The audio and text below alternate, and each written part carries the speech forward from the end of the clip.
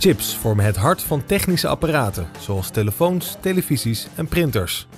Een chip is een stuk materiaal wat zo geproduceerd wordt dat het uh, tot nu toe altijd kan rekenen. Maar we zien ook dat het tijdperk van alleen rekenen voorbij is en dat men nu een nieuwe trend ziet dat een chip ook niet alleen moet rekenen, maar ook iets moet doen. Letterlijk iets doen. We stellen steeds meer eisen aan apparaten en daarom is de ontwikkeling van chips in volle gang. Soulmates uit Enschede heeft een machine ontwikkeld die het mogelijk maakt om bewegende delen op chips aan te brengen.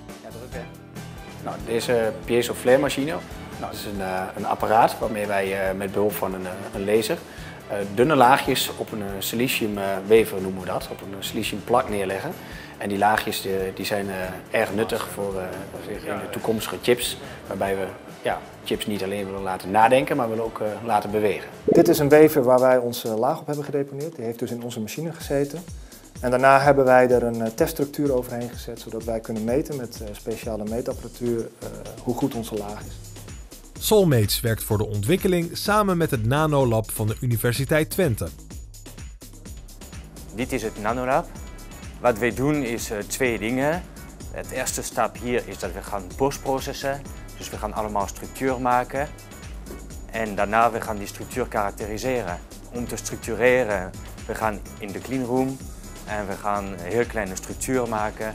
Samenwerking met de Universiteit Twente is heel belangrijk omdat uh, financieel gezien we zouden niet een cleanroom kunnen bouwen, maar door die samenwerking hebben we wel toegang hier. De ontwikkeling van Soulmates wordt gevolgd door alle grote chipsfabrikanten over de hele wereld. Er is een partij nu ook bezig met uh, nieuwe lensjes voor uh, camera's. En die zitten dan ook in mobiele telefoons, die veel sneller kunnen focussen. Iedereen kent het wel dat je aan het filmen bent met je telefoon en dat hij maar niet focust of heel traag is. En ja, het focussen kost ook heel veel stroom. En met onze lagen gaan ze toch kijken of ze een, een, lens kunnen buigen. En dan kunnen ze heel snel de lens zo buigen dat je precies in focus bent.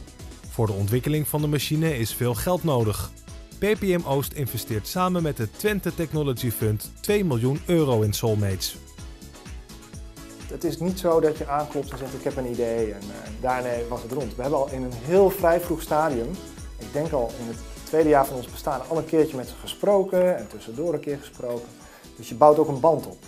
Onze markt is al globaal. Wij reizen al naar Azië, Amerika en eh, door Europa heen. Als onze techniek goed is, en dat is die, kunnen wij ook andere uh, lagen aanbrengen die bijvoorbeeld niet bewegen, maar heel mooi magnetisch zijn of heel mooi optisch zijn. Dus we zien echt een richting in waarin wij een grote speler worden op de markt van, uh, van de computerindustrie. En met name in de chipproductie. En dat wij ontzettend veel machines gaan leveren naar deze markt toe.